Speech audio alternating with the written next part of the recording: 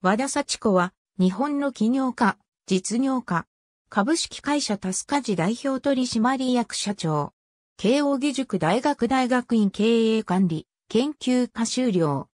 株式会社タスカジ代表取締役、日経ウーマンオブザイヤー2018、働き方改革サポート賞受賞1975年、兵庫県川西市生まれ。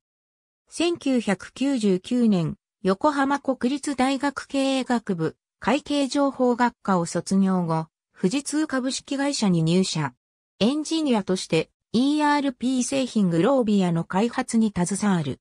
2005年、富士通の企業派遣制度で、慶応義塾大学大学院経営管理研究科へ留学し、MBA を取得。2008年第一子出産。2009年富士通製 ERP 製品グロービアのウェブマーケティングを担当。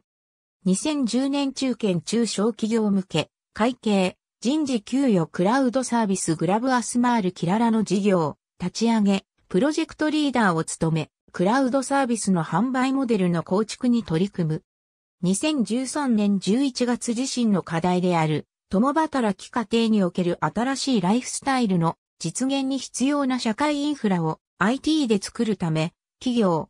2014年7月 IT を軸としたシェアリングエコノミーの新サービス、タスカジをローンチ。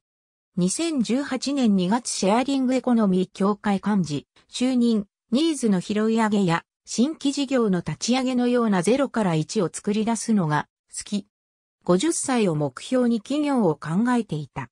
新卒入社した富士通での新規事業立ち上げを通じて、企業への思いを強める。経営者視点を学ぶために MBA 留学し、企業するもサービス提供前に頓挫。その経験を糧に、企業に再挑戦した。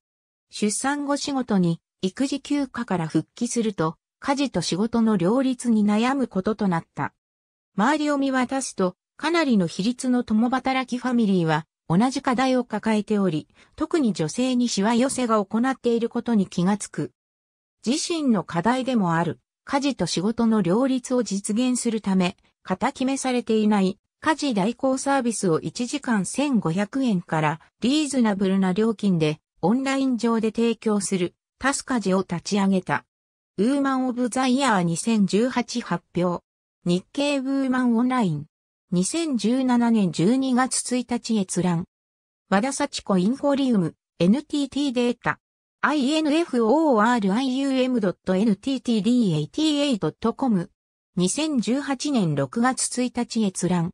アワード受賞製品月額9800円の低価格で中小企業向けクラウド市場に食い込む。日経エクステック2010年11月22日閲覧。新規顧客開拓に予想以上の成果を生む、ウェブ営業とは、クラウド Watch 2012年12月21日、閲覧。共働き世帯も使いやすい、タスカジ、多様なハウスキーパーが1時間あたり1500円で、家事代行、 THE BRIDGE、THE BRIDGE、http コロンスラッシュスラッシュ thebridge.jp スラッシュ2014スラッシュ07スラッシュ tasukaji2018 年5月15日閲覧。シェアリングエコノミー協会、幹事会を新設エアビアンビー、エアークローゼット、タスカジが就任。シェアリングエコノミー協会、2018年2月13日閲覧。